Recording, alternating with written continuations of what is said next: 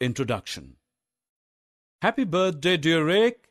Happy birthday to you. Happy birthday to you. Happy birthday to you. We were four friends at birthday party.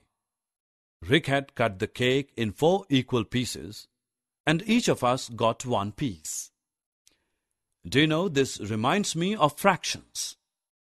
Want to know more? Join me to wade through the world of fractions. Objectives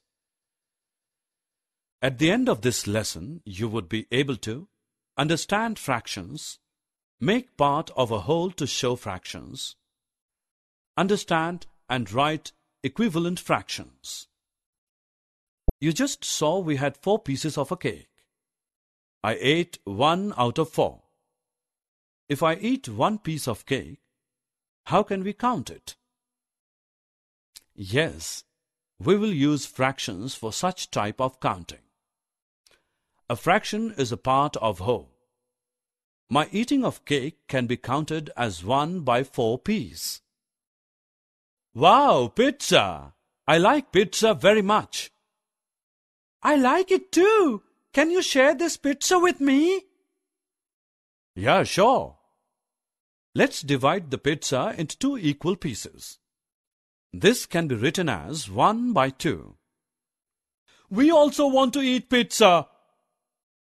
Okay, let's divide the pizza into four pieces.